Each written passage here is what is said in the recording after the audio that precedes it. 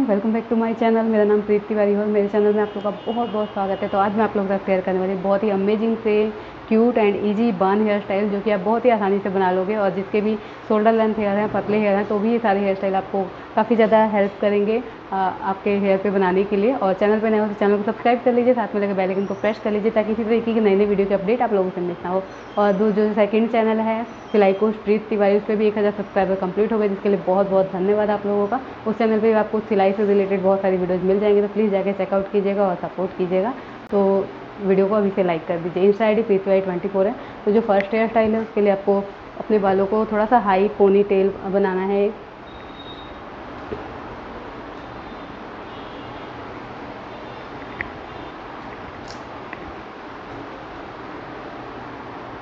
अच्छे से कॉम करके एक पोनी बना लेनी है।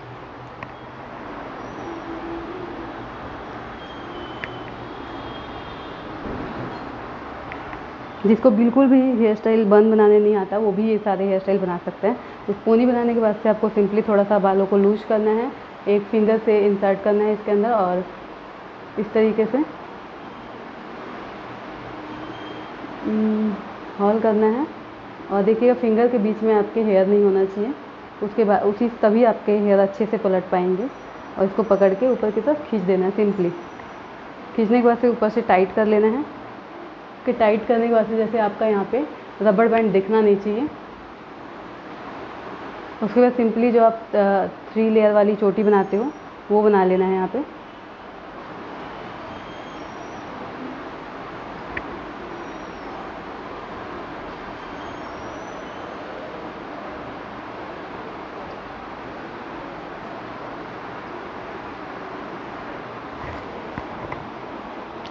चोटी बनाने के बाद से एक रबर बैंड आपको यहाँ पे लगा देना है।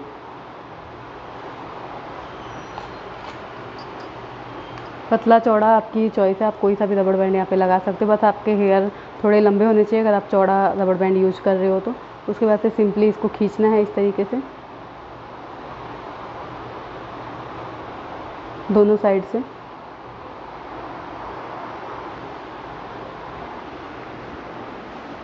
खींच के यहाँ पे एक यू पिन ऐड कर देना है।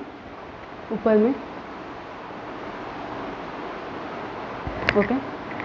अभी यहाँ के हेयर को इस तरीके से होल्ड करना है और यहाँ पे एक और यू पिन ऐड करना है।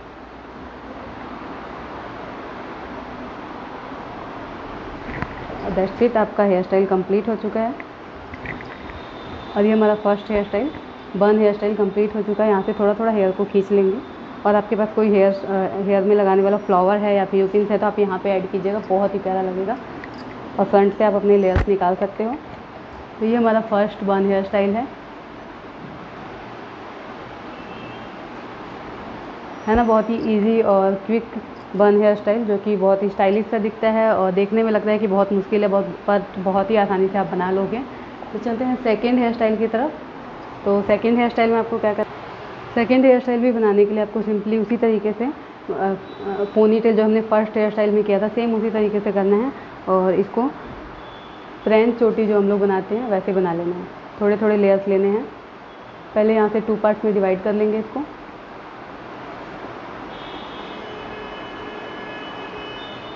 और इसकी एक चोटी बना लेंगे सिंपल सी सिंपल सी नहीं, जैसे फ्रेंच चोटी जो हम लोग खजूरी चोटी बनाते हैं।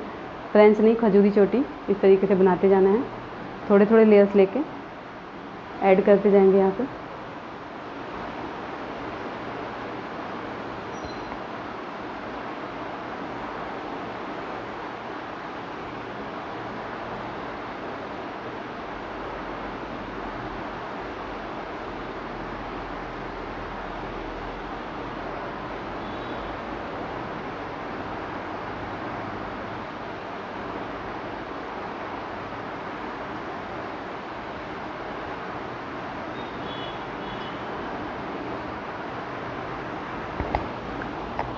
ये बनाने के बाद से सिंपली जैसे हमने पहले वाले हेयर स्टाइल में किया था, यहाँ पे एक रबड़ बैंड यूज़ करेंगे।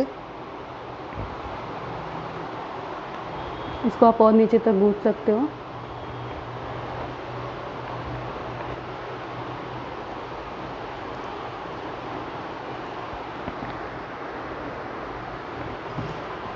अगेन इसको यहाँ से ऊपर की तरफ़ उठाएँगे और यहाँ पे यूपी में लगा देंगे। और इसको भी नीचे की तरफ़ इस तरीके से करेंगे और यहाँ पे यू पिन से इसको सेट करेंगे।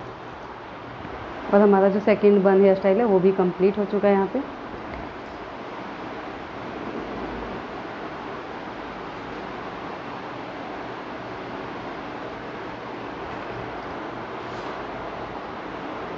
आप चाहो तो यहाँ से इस तरीके से फैला के यहाँ पे भी यूपिन ऐड कर सकते हो बट मैंने नहीं किया है। तो चलते हैं थर्ड बन हेयर स्टाइल की तरफ़। जो आपका तीसरा बन हेयर स्टाइल होगा, उसको भी सिंपली आपको एक पोनी बनानी है पहले। इसको आप ये भी कह सकते हो कि एक रबड़ बैंड से ये सारे बन हेयर स्टाइल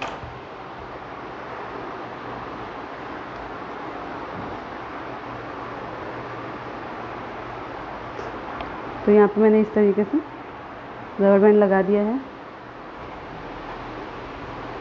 जो हेयर है, उसको टू पार्ट्स में डिवाइड करेंगे। और इस साइड के हेयर को सिंपली टू पार्ट्स में डिवाइड करके ट्विस्ट कर देंगे।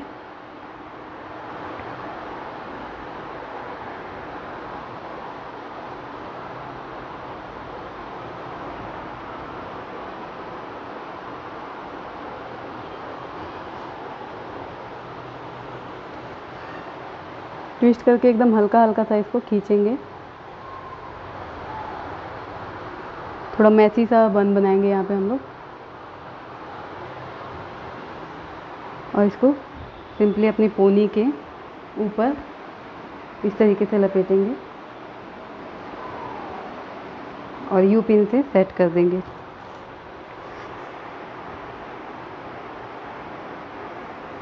यू पिन, बॉबी पिन जिससे भी आपको इजी लगे, उससे आप कर लीजिएगा। फिर सेकेंड दूसरी साइड के भी हेयर को इस तरीके से टू पार्ट्स में डिवाइड करके ट्विस्ट कर लेंगे।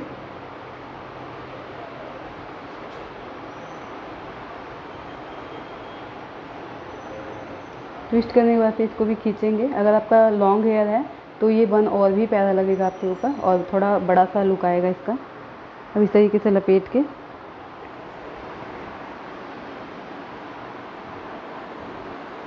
फिर से यूपिन लगाएँगे।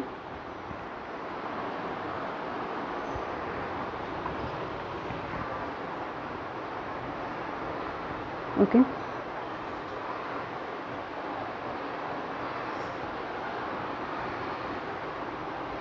यहाँ से थोड़ा थोड़ा खींच लेंगे ताकि आपका जो हेयर है वो थोड़ा वॉल्यूम दिखे बालों में और थोड़ा पफ का लुक आ जाए। और ये हमारा तीसरा बन हेयर स्टाइल कंप्लीट हो गया है, जिसका लुक कुछ इस तरीके का है।